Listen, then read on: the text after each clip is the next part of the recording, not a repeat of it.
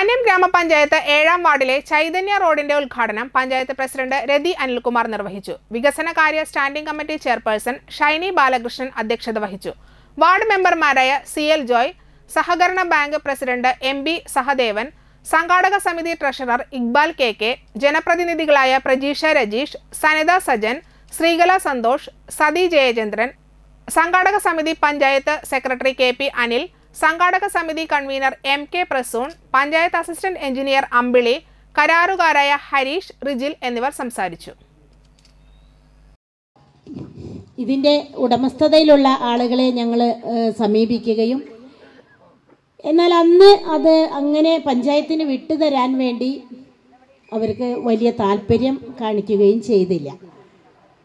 പിന്നീടാണ് നമുക്കിവിടെ അതിനു വേണ്ടിയിട്ടുള്ള നല്ല പരിശ്രമം ഞങ്ങൾ നടത്തിയിട്ടുണ്ട്. എന്നിട്ടും അത് പഞ്ചായത്തിന് വിട്ടുതരാൻ വേണ്ടി അതിന്റെ ഉടമസ്ഥർ തയ്യാറായില്ല എന്നുള്ളതാണ് ഒരു വസ്തുത. പിന്നീടാണ് നമ്മൾ റിസർവേ താന്യം വില്ലേജിന്റെ റീസർവേ നമ്മൾക്കിവിടെ നടക്കുകയുണ്ടായി.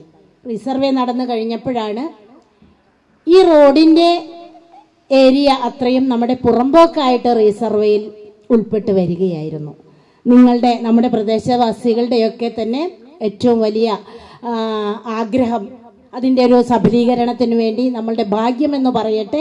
ആ റിസർവേൽ വന്നത് കണ്ടപ്പോൾ തന്നെ അത് പഞ്ചായത്തിന്റെ ആസ്തിയിൽ കൊണ്ടുവരുന്നതിന് വേണ്ടിയിട്ടുള്ള പ്രവർത്തനങ്ങൾ ഞങ്ങൾ നടത്തുകയുണ്ട്